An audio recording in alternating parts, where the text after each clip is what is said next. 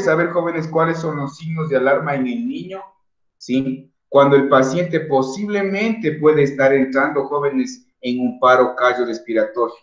¿Cuáles son los signos de alarma, jóvenes? Existe una insuficiencia respiratoria grave, por ejemplo, y una insuficiencia cardiovascular grave. En cualquiera de los casos, jóvenes, ya la misma palabrita dice, una insuficiencia quiere decir algo le está faltando. En este caso, como es una insuficiencia respiratoria, una falta o algún problema respiratorio que es grave.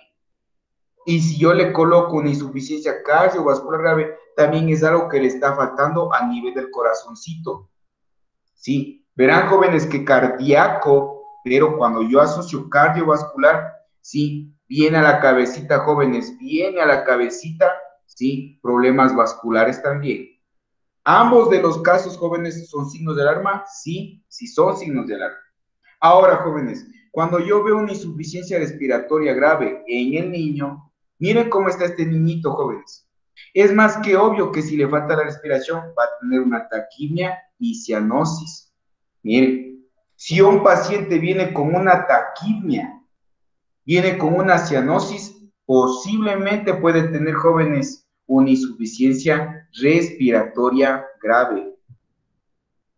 Empleo muscular, accesorios, un tiraje, un aleteo, quejidos, disociación, tórax, abdomen. En pocas palabras, ¿qué es eso, jóvenes? ¿Qué es eso? Cuando yo hablo, jóvenes, cuando yo hablo de una insuficiencia respiratoria, existen signos de alarma en el niño a nivel respiratorio. Miren, eso es una pregunta de examen. Si yo veo a un niño que viene con así, jóvenes, así, así, así, eso, jóvenes, se llama aleteo nasal. Viene un niño así. Es porque le está faltando aire, le está faltando oxígeno. Primer signo de alarma, jóvenes, es un aleteo nasal. Miren. Segundo problema, jóvenes, según signo que yo debo revisar, jóvenes, es una retracción del esternón. Miren, el niño es así. Sí se está, se está metiendo, jóvenes, el esternón.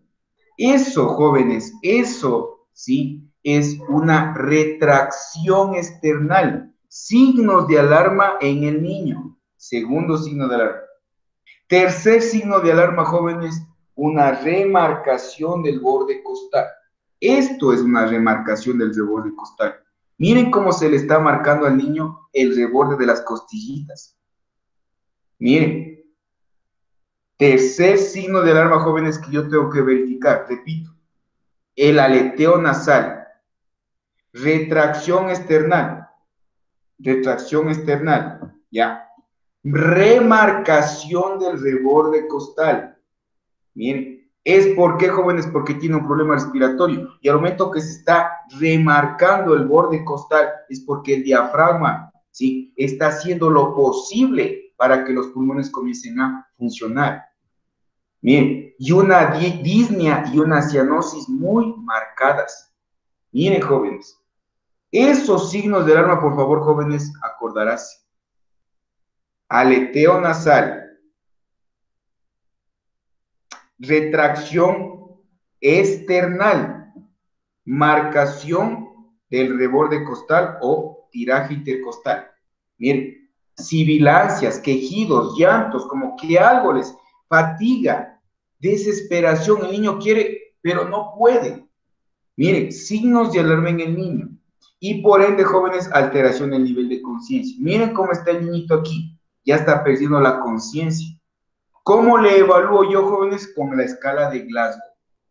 Miren, es obvio que este niño no me va a responder a lo que yo le pregunto pero me va a responder jóvenes a una eh, aplicación de algún dolor.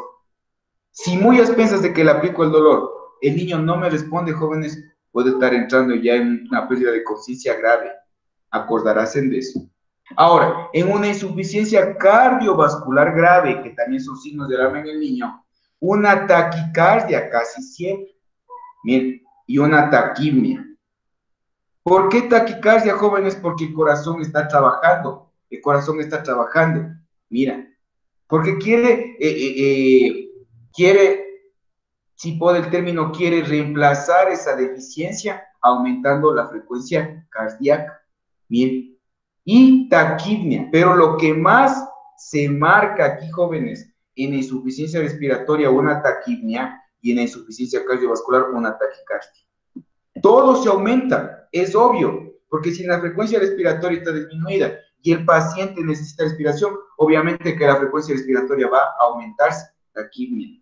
Acá la insuficiencia es cardiovascular. Obviamente el corazón no puede funcionar, ya no está eh, eh, eh, realizando las funciones que necesita. Obviamente va aumentar la frecuencia cardíaca, taquicardia.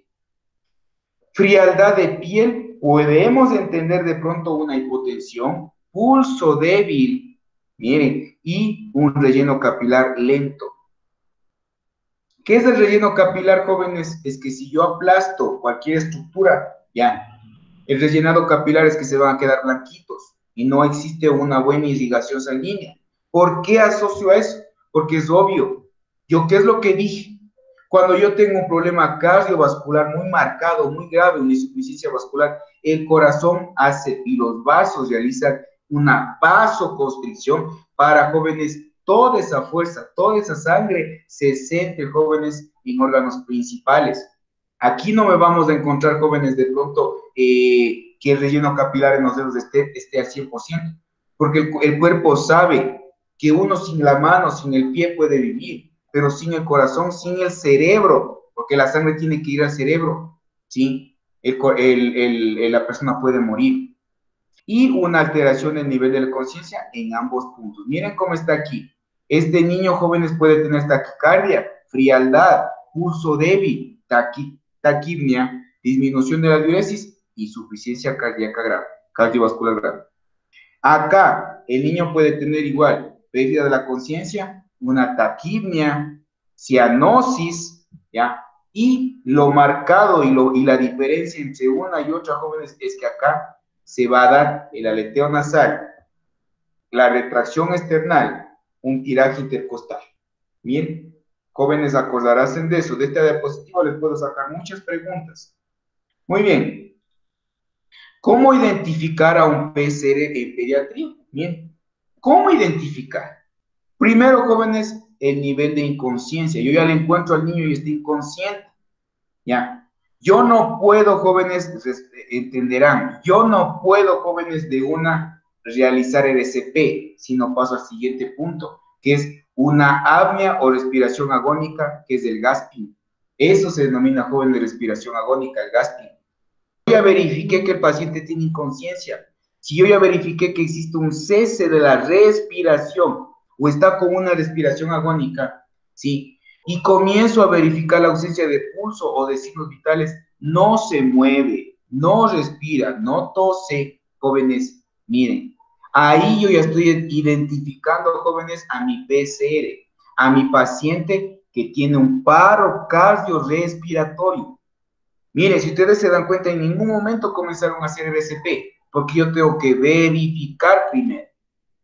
Después de que primero vi el nivel de conciencia, de inconsciencia, perdón, vi apnea, cese de la respiración y en la respiración agónica, que es el gaspín. Luego, jóvenes, vi que ya está con, con ausencia de los signos vitales no se mueve, no respira y no hace. Recapitulando lo que ya vamos a ver cómo se hace, porque ahorita estamos solo identificando a nuestros pacientes, a nuestros PCR. Después ya vamos a aplicar el RCP, tanto en los niños como en los adultos. Acordarás de eso. Ya. ¿Qué es la reanimación cardiopulmonar básica? Miren, y ahorita ya voy a hablar de la reanimación. Incluye una serie de pasos, el ABC del apoyo vital, ¿sí? ¿Qué es el ABC, jóvenes? Abrir vías, ¿sí? Abrir vías, verificar respiración y cabeza hacia atrás. Miren, ¿qué es el ABC, jóvenes? El ABC es abrir vías, ¿ya? Una, verificar la respiración y la cabeza hacia atrás. Bien, ¿Por qué digo del apoyo vital? Porque así comienza el EDCP. Así comienza. Ya les voy a poner unas imágenes jóvenes para que vean. diseñada para el reconocimiento de los principales signos vitales. Miren, ¿por qué se hace eso? Porque yo tengo que tener jóvenes que un signo vital es la respiración. Yo tengo que valorar cómo está la respiración y también valorar jóvenes si existe frecuencia respiratoria. Ahora, ya asociado a lo que es la, la frecuencia respiratoria, otro signo también característico, jóvenes, es el pulso. Si yo no tengo una sensación de pulso, difícilmente se me va a poder dificultar, ¿sí? Lo que es el conteo de la frecuencia cardíaca. Por eso, jóvenes, diseñada para el reconocimiento de los principales signos. En este caso, el principal signo respiratorio y cardíaco. Miren, todo paciente con PCR debe ser reanimado. Miren, ¿qué es que pierda todo esto? Si estamos claros, si de pronto no existe la pérdida de la conciencia, de pronto la respiración está presente, pero es muy débil. De pronto sí me responde, jóvenes, yo no tengo por qué estarles realizando el SP. Acordarás de eso. Primero, el nivel de conciencia disminuido, por no decir perdido. Apnea o una respiración agónica. Sin, con ausencia de, eh, ausencia de pulso, signos vitales, ya no se mueve, no responde, no tiene tos, Jóvenes, ahí prosigo a verificar primero el paciente. Y todo paciente que es un posible PCR, que está entrando en un posible paro cardiorrespiratorio, jóvenes, necesita una, un RCP, ¿ya? Una reanimación cardiopulmonar. Si estamos claros, acordarás en eso. Ahora, las condiciones para no realizar, para no realizar, jóvenes, una reanimación. ¿Qué es lo que yo tengo que saber para no realizar una reanimación? Primero, jóvenes, un estadio terminal de una enfermedad crónica o incurable. Miren ustedes, por eso es que un paciente a lo menos, ya ustedes van a ir escuchando lo que es cuidados paliativos. ¿Qué es el cuidado paliativo, jóvenes? Es donde la persona va a fallecer. O sea, ya, ya tiene una enfermedad terminal que dentro de lo que cabe, jóvenes, ahí le hago firmar a, mi paciente. ¿Ya? Los familiares dicen, no, es que mi papá ya no resiste, está agonizando y le tienen solo con soporte vital, le tienen ahí, como equipos, que sin los equipos el paciente va a fallecer. Entonces, ¿qué es lo que, se, lo, lo que hacen los familiares? Dicen, a ver, yo le voy a firmar una hojita para no realizar una reanimación cuando son pacientes terminales o incurables. Si estamos claros. Entonces al médico, ¿qué le dice? Que si el paciente entra en un paro cardiorrespiratorio, no actúe, no le realicen un RCP. Miren, en ese caso, jóvenes, no se realiza un RCP, una reanimación. Imposibilidad de restablecer las funciones nerviosas superiores es cuando el paciente ya perdió, si estamos claros, ya me di cuenta, ya existe de pronto un desfase, ya se perdió la, conexión con el cerebro. Miren, ya no puedo realizar un RCT. Una destrucción traumática del cerebro, un rigor mortis, signos de descompensación pero graves. Miren ustedes, si el paciente viene y tiene unas letras que paz, le golpeó la cabeza, pero todavía respira, y le ven que está, ya no se puede realizar una reanimación, jóvenes. ¿Por qué? Porque el cerebro ya está con un traumatismo muy grave. Si estamos claros, en vez de que yo le, en vez de que yo le restablezca, el paciente puede entrar en algún tipo de alteración y no se puede hacer eso. El rigor mortis, jóvenes, es cuando ya el paciente pasa mucho tiempo, ¿sí? Después de que sucedió el paro cardiorrespiratorio y no le dieron el SP, y ahí el paciente ya está con un rigor mortis, es decir, ya está frío. Yo ya no puedo realizar el SP, jóvenes. Acordarás de eso. Y posiblemente en una atención en accidentes masivos, posiblemente. Claro, obviamente, jóvenes, en una atención en accidentes masivos se debe primero, jóvenes, clasificar o seleccionar los de más graves a menos graves, para que los más graves, y dependiendo del apoyo de un paramédico o un profesional, posteriormente realizar un RCP, si estamos claros. Pero esas condiciones, jóvenes, quiero que se acuerden en la cabecita. Quiero que se acuerden en las cabecitas. Muy bien. Ahora, ¿qué es? Miren, lo que dice que es el ABC. del RCP. Primero, jóvenes, es vías aéreas. Abrir vías aéreas, lo que les dije, abrir vías aéreas. ¿Ya? Lo otro, jóvenes, verificar la respiración. Verificar la respiración. Y el último, jóvenes, la cabeza hacia atrás o verificar la circulación. Este, jóvenes, es el ABC básico de la RCP. Siempre acuérdense de eso, jóvenes. ¿Cuáles son los pasos del ABC? Abrir vías aéreas, la A. ¿Ya? La B, respiración o ventilación. Y la C, la circulación. Esas son las palabritas claves, jóvenes, para verificar y los pasos iniciales para realizar un RCP. Miren ustedes. Déjenme verificar acá. Ya. ¿Cómo yo puedo abrir jóvenes vías aéreas? Es obvio, jóvenes, es obvio que si yo le veo a un paciente que está recostado, es obvio, jóvenes, que yo primero tengo que levantar el mentón, ya, la frente hacia atrás y esta partecita, jóvenes, miren cómo le está colocando, la frente hacia atrás, hacia arriba el mentón, sí, y aunque ustedes no crean, jóvenes, la permeabilidad, sí, se comienza a verificar de mejor manera, miren. Porque si, el, si la persona está así agachada, la permeabilidad disminuye. Por eso, jóvenes, abrir vías aéreas involucra levantar el mentón y la cabeza hacia atrás. Eso, jóvenes, me va a facilitar mucho a que el paciente pueda respirar. Y si no puede respirar, yo le tengo que administrar, jóvenes, ya sea con un ambú o directamente con la boca ventilatorio, ¿ya? me va a facilitar mucho, jóvenes, de que mi paciente le llegue de mejor manera el oxígeno. Bien, eso es lo que es las vías aéreas. Abrir vías aéreas. Mentón hacia arriba, frente hacia atrás. Bien, ¿para qué, jóvenes? Para poner en, en lo que es la conductibilidad o la permeabilidad del el sistema respiratorio. Bien. La B, jóvenes, ¿qué es la B? La B es verificar la respiración o ventilación. Miren ustedes. ¿Cómo voy a verificar yo la respiración? Jóvenes, viendo. Si la respiración se está dando de una manera forzada, pero todavía existe respiración, es porque yo ya tengo que valorar que en la B la respiración puede estar forzada, pero está presente. Débil, pero está presente.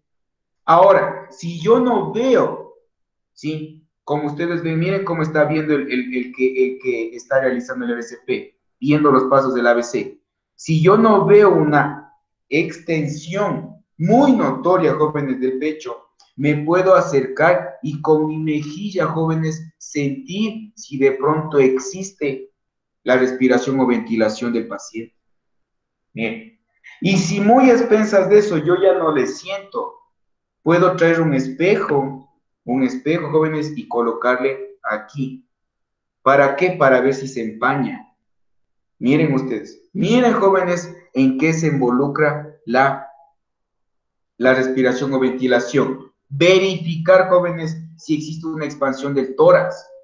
Y si no existe una expansión del tórax, acercarme y verificar si existe un leve murmullo, una leve, una leve brisa de aire. Si no siento eso, jóvenes, colocar un espejo debajo de la nariz para ver si se empaña y verificar si está respirando. Bien. Y por último, jóvenes, la circulación que aquí se engloba. Si aquí es la respiración, ya aquí es la frecuencia cardíaca.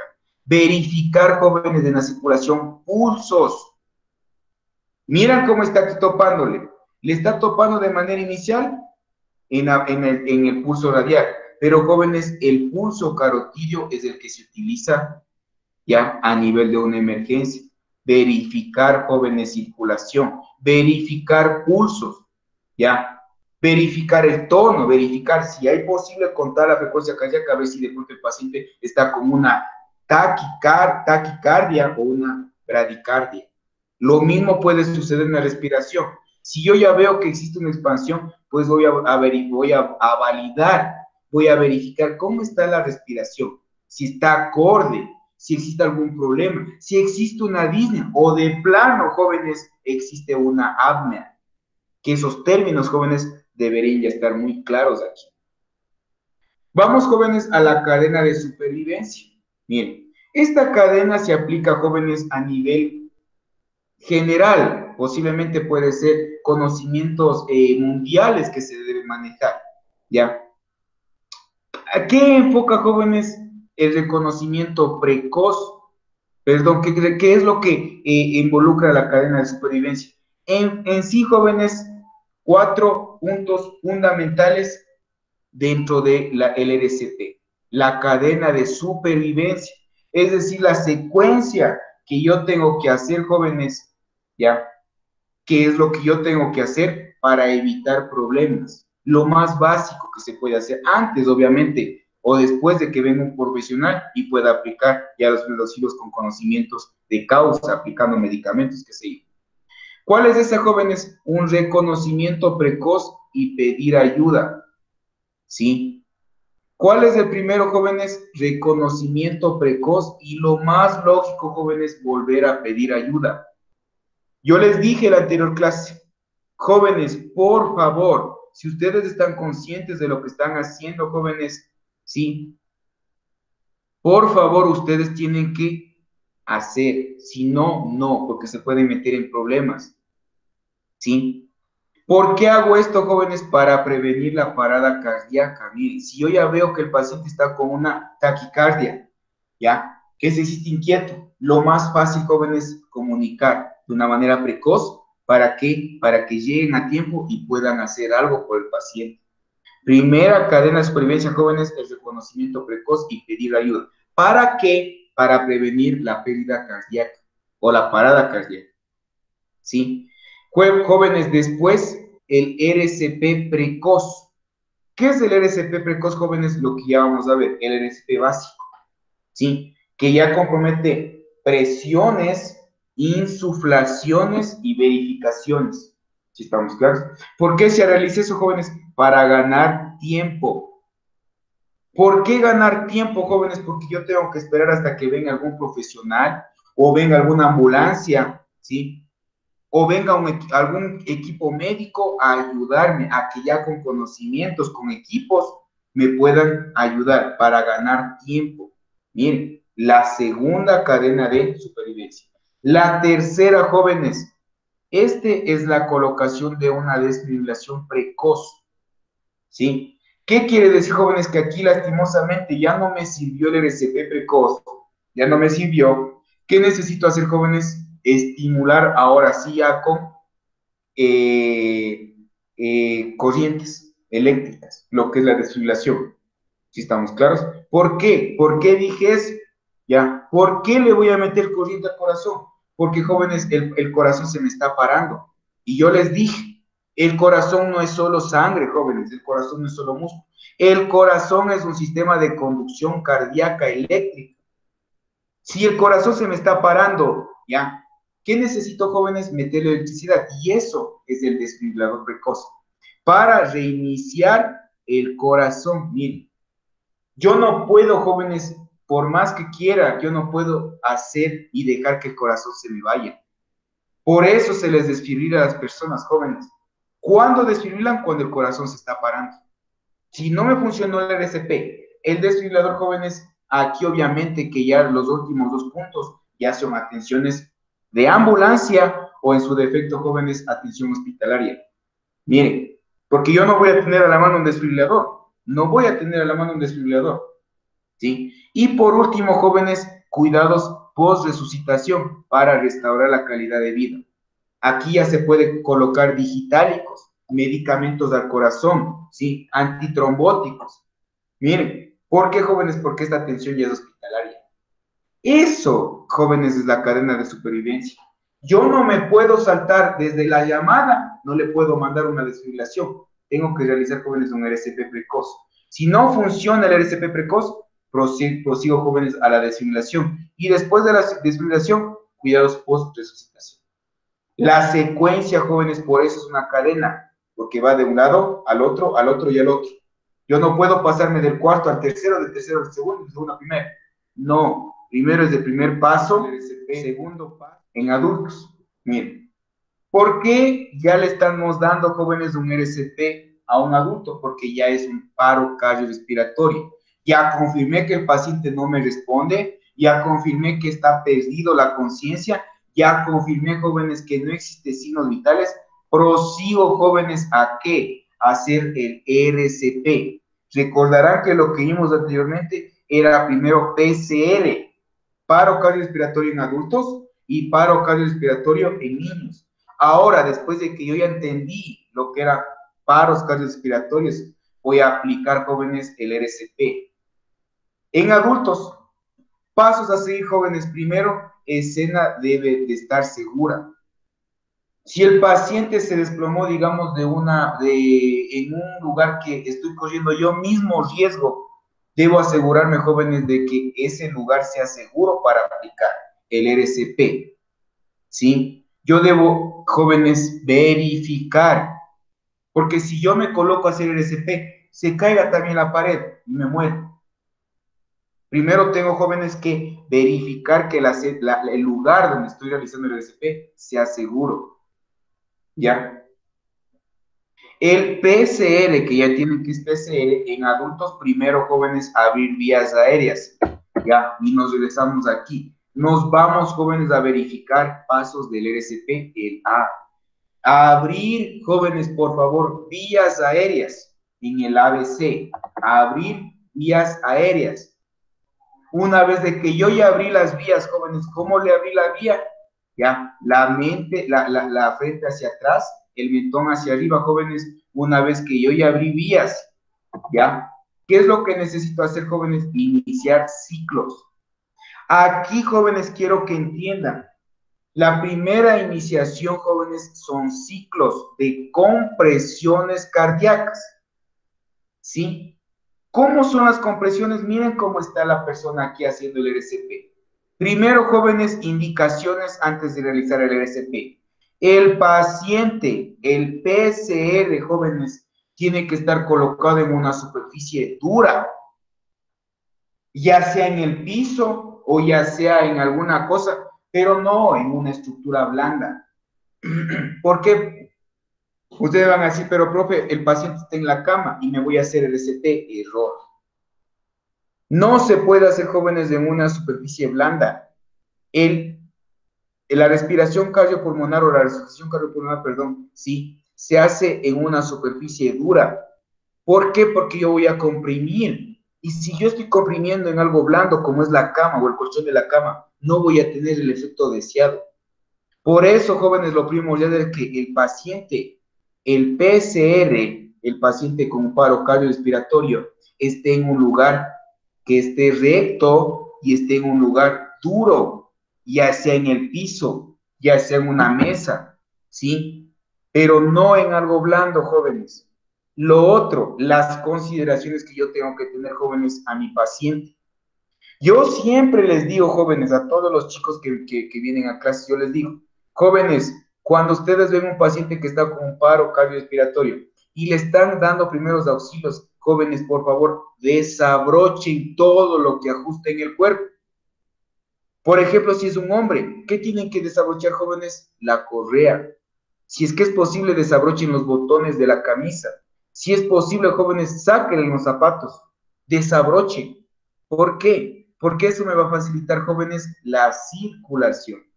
Ahora, si es en una mujer que le voy a hacer SP, pues tengo que verificar, jóvenes, lo mismo. Si está con correa, tengo que aflojarle, aflojarle el sostén. No es por netamente otras cosas, sino es para facilitar, jóvenes, la circulación. Miren ustedes. Después de que ya completé ese tipo de, estructuras, jóvenes, sí, o de especificaciones previos a la colocación o a la, o a la realización del RCP, la persona, jóvenes, que va a realizar el RCP se debe colocar en la parte lateral, ya sea izquierda o derecha del paciente, donde más le convenga. ¿sí? Y se tiene que colocar jóvenes de rodillas, ¿ya? Al lateral del paciente. ¿Y cómo comienza a hacer las, las compresiones jóvenes? Primero con la mano, así. Ahí, jóvenes, aquí está una mano, aquí está la otra mano, y así van las compresiones jóvenes. Con todo el peso del cuerpo, ahí. Los brazos de la persona que está haciendo el RCP, jóvenes, no pueden estar torcidos así. Tienen que estar rectos y con el, pe con el peso del cuerpo, jóvenes, así, ahí, ahí. Esta parte, jóvenes, de la palma de la mano, tiene que ser presión en qué estructuras. A ver, jóvenes, vas a hacer presión en el esternón. Ahora, jóvenes, ¿por qué me sirve esto? ¿Por qué, jóvenes? Porque yo tengo que ubicarme en el, en el cuerpo del esternón no en el manubrio, no en la apófisis. Porque ustedes se dan cuenta, miren jóvenes, ¿qué es esto? Miren ustedes lo que son jóvenes. Estas partecitas son uniones. Mira, esta partecita de aquí, jóvenes, es una escotadura. Si ustedes ven, miren, si yo hago presión, se me puede lesionar el manubrio junto con el cuerpo external, ya. Y si yo hago muy abajo, si yo hago muy abajo, jóvenes, la presión, ¿se me puede o no se me puede lesionar, jóvenes, la unión del cuerpo con la apófisis sifoides? Por eso yo tengo que hacer, jóvenes, en el cuerpo external. Miren, pero el cuerpo external, jóvenes, como ustedes ven, es una estructura que tiene varias partes. Yo siempre, jóvenes, les divido el esternón en tres. Le divido una, vamos aquí, le divido en tres partes, jóvenes. ¿Ya? Le divido en una parte, ¿ya? Y en otra parte. Ahí están, jóvenes, las tres partes del esternón, ¿ya? Este, ¿cuál va a ser, jóvenes? Un tercio superior del cuerpo external, tercio medio del cuerpo external y tercio inferior del cuerpo external. ¿Dónde van a ser las compresiones, jóvenes? ¿Dónde van a ser las compresiones? Las compresiones jóvenes van a ser en el tercio. ¿En qué tercio, jóvenes? ¿En qué tercio van a ser las compresiones? ¿Quién me responde? ¿Ah? ¿En qué tercio van a ser las compresiones, jóvenes? En el tercio medio. Miren, en el tercio medio, jóvenes, van a hacer las compresiones ahí, ni muy arriba, porque me pueden lesionar jóvenes del manubrio external, ni muy abajo, porque me pueden lesionar la apófisis sifoide. Miren ustedes, jóvenes. Esto es anatomía básica, jóvenes, que espero que eh, este, hayan estudiado en su debido tiempo, jóvenes. ¿Dónde van a hacer las, las compresiones? Sí. ¿Dónde van a hacer las compresiones, jóvenes? a nivel del esternón. Específicamente, profe, ¿dónde? En el cuerpo external. ¿Pero dónde? En el tercio medio del esternón. ¿Por qué? Porque si yo hago muy arriba, puedo lesionar, jóvenes, la, la, unión entre el manubrio y el cuerpo external. Si yo hago muy abajo, puedo lesionar, jóvenes, la unión entre la apófisis hipoidea con el cuerpo external. Bien. Y ahí comienzo a hacer. ¿Sí? Comienzo a hacer. El corazón, jóvenes, ¿dónde se va a ubicar? ¿sí? Yo me acuerdo que una vez les hice un gráfico. ¿Dónde se va a ubicar jóvenes del corazón? Le voy a, colocar un, óvalo. ¿Dónde se va a colocar el corazón, jóvenes? Más o menos por aquí se va a colocar el, el corazón. Más o menos. Ya. Más o menos se va a colocar el corazón aquí. Ya. Más o menos. Por eso, jóvenes, ¿dónde debo hacer la compresión? En el tercio medio. Ahí está su corazoncito, jóvenes. Pongámosle rojito para que vean. Ahí está el corazoncito, más o menos. Bien. Entonces, si yo hago la compresión en el tercio medio, jóvenes, estoy haciendo compresión cardíaca. Si mi corazón se está parando, compresión cardíaca.